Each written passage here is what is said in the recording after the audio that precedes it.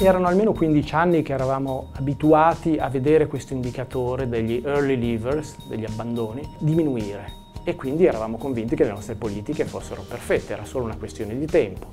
Invece la novità dell'anno scorso è che l'indicatore è rimbalzato, è cresciuto in particolare tra le ragazze. È doveroso un approfondimento per capire cosa sta succedendo in Italia. La reintroduzione dell'educazione civica nelle scuole è una grande occasione, perché a fianco della Costituzione italiana devono entrare i principi cardini dell'Agenda 2030 e tra questi bisognerà parlare di solidarietà intergenerazionale e di cittadinanza globale.